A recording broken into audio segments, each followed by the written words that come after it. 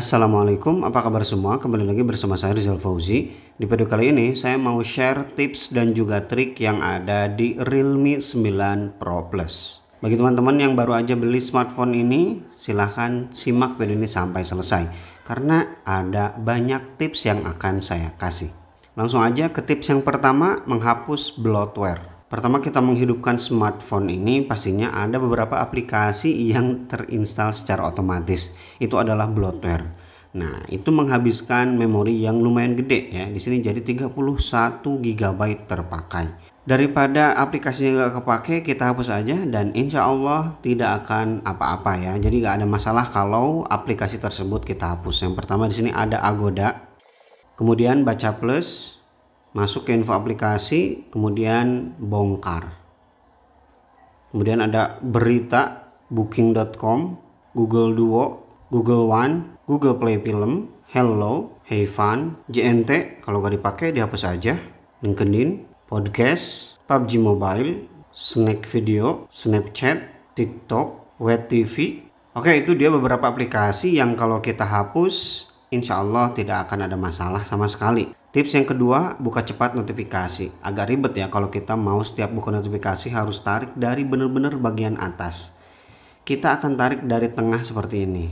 Nah, secara default dari tengah itu adalah global search. Kita akan menggantinya.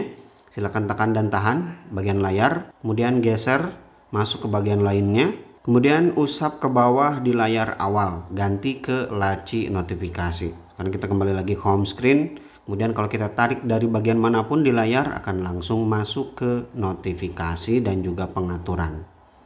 Ini lebih simpel dan lebih berguna menurut saya. Tips yang ketiga, tombol navigasi. Bagi teman-teman yang kurang suka dengan swipe seperti ini, ya, terutama orang tua sih biasanya kurang suka dengan cara yang seperti ini, lebih suka cara manual. Kita bisa menggantinya. Caranya simpel, silahkan masuk ke bagian pengaturan, kemudian pengaturan sistem, kemudian klik navigasi sistem. Silahkan di sini ganti dari gestur ke tombol. Maka akan muncul tombol 3 di bagian bawah. Ini untuk back, kemudian ini untuk masuk ke home screen. Dan yang ada garis tiga ini untuk masuk ke recent apps. Tips yang keempat screenshot vertial dan juga long screenshot. Caranya gampang. Untuk screenshot vertial kita tekan dan tahan menggunakan tiga jari. Kemudian baru arahkan sampai mana kita mau ambil screenshotnya. Kalau sudah selesai kita tinggal checklist saja Kemudian untuk long screenshot, misalnya kita mau screenshot seluruh bagian menu ke bawah. Jadi kita tinggal ambil screenshotnya menggunakan tiga jari, kemudian klik, kemudian pengguliran. Tunggu sampai selesai atau boleh kita pakai jari langsung. Ini dia hasil screenshotnya. Silahkan checklist. Tips yang selanjutnya, mode satu tangan. Ini akan memudahkan kita untuk menggunakan smartphone hanya dengan satu tangan. Silahkan masuk ke bagian pengaturan, pengaturan sistem, kemudian mode satu tangan silahkan diaktifkan. Dan untuk mengaksesnya simple, kita tinggal tarik aja di bagian bawah sedikit, maka akan jadi seperti ini. Contohnya kita lagi scrolling Instagram, tinggal tarik sedikit di bagian bawah, maka tampilannya jadi seperti ini. Ini kalau pakai satu tangan akan jadi lebih mudah. Untuk kembali ke mode normal, silahkan klik bagian panah yang di atas. Tips yang selanjutnya buka cepat. Masuk ke bagian pengaturan, kemudian fitur khusus, kemudian klik buka cepat. Silahkan diaktifkan bagian buka cepat ini. Untuk mengaksesnya ketika layar dalam keadaan mati, silahkan tekan dan tahan di bagian sensor sidik jari, kemudian kita tinggal geser. Langsung masuk ke Facebook. Untuk aplikasinya sendiri kita bisa custom melalui menu edit atau tambahkan lagi karena masih ada ya dua partial yang kosong. Tips yang selanjutnya bilah samping cerdas seperti ini punya saya. Ini sangat memudahkan kita kalau pengen lagi buka pesan secara langsung. Bahkan bisa digeser-geser ukurannya. Jadi kita lagi asik nonton video atau lagi main game, pengen lihat notifikasi tanpa keluar dari videonya. Untuk mengaktifkannya silahkan masuk ke bagian pengaturan, fitur khusus, Kemudian bilah samping cerdas. Silahkan aktifkan bilah samping cerdas. Di sini juga kita bisa mengcustom aplikasi apa aja yang mau kita simpan di bilah samping ini. Silahkan klik bagian edit dan tambahkan beberapa aplikasi atau beberapa alat seperti screenshot partial dan yang lain-lain. Begitupun juga kalau mau dipindahkan posisinya silahkan digeser-geser aja sesuai dengan kebutuhan.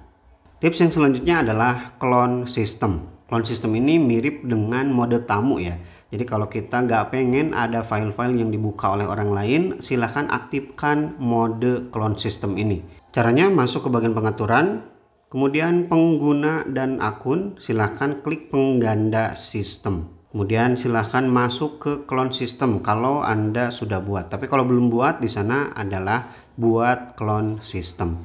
Silahkan atur-atur kata sandi dan yang lainnya untuk sistem yang kedua ini. Tentunya untuk password dan yang lain-lain pasti berbeda dengan sistem yang utama. Jadi seolah-olah kita punya dua HP ya di dalam satu perangkat. Dan untuk kembali ke perangkat yang pertama, silahkan masuk ke bagian notifikasi, kemudian di sini tarik ke bagian samping dan Anda kembali ke sistem utama. Tip yang selanjutnya adalah double tap to wake dan juga double tap to sleep. Fitur ini berguna untuk memperawet tombol power karena untuk menonaktifkan kita tinggal klik aja dua kali di bagian layar. Begitu juga untuk membangunkan, klik dua kali untuk mengaktifkannya silahkan masuk ke bagian pengaturan, pengaturan sistem, gestur dan gerakan, kemudian gestur layar mati. Silahkan di sini aktifkan ketuk dua kali untuk membangunkan atau mematikan layar. Itu di bagian lock screen ya. Untuk mengaktifkan fitur double tap to sleep di bagian layar ini, caranya berbeda. Silakan masuk kembali ke bagian pengaturan, kemudian layar awal dan layar kunci, Kemudian aktifkan ketuk dua kali untuk mengunci. Maka kalau kita ketuk dua kali di bagian home screen, layar akan langsung mati. Tips yang selanjutnya, tarik turun icon. Fitur ini sangat berguna kalau kita lagi menggunakan satu tangan. Contohnya seperti ini, kita nggak mungkin dengan satu jari mengakses dari ujung ke ujung atas. Dengan fitur ini, dengan mudahnya kita bisa mengaksesnya. Nah,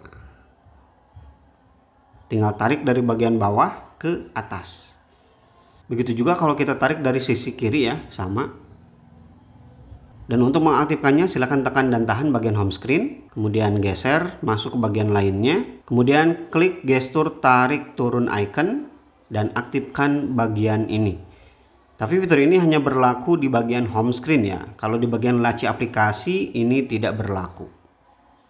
Tips yang selanjutnya adalah ohaptic. Salah satu fitur yang bagus yang ada di Realme 9 Pro Plus ini adalah vibration motornya yang cakep seolah-olah ini smartphone yang mahal kita masuk ke bagian pengaturan kemudian suara dan getaran kemudian haptic dan nada ini adalah fitur punya Oppo ya ini nyaman banget ya getarannya tapi kita bisa menyesuaikan dengan apa yang kita mau silakan masuk ke bagian rasa sentuhan di sini ada dua garing dan juga lembut untuk bagian ini nggak bisa saya gambarkan, jadi teman-teman harus nyoba langsung mana yang lebih cocok getarannya di tangan teman-teman. Tips yang selanjutnya adalah split screen, membagi layar HP untuk dua aplikasi.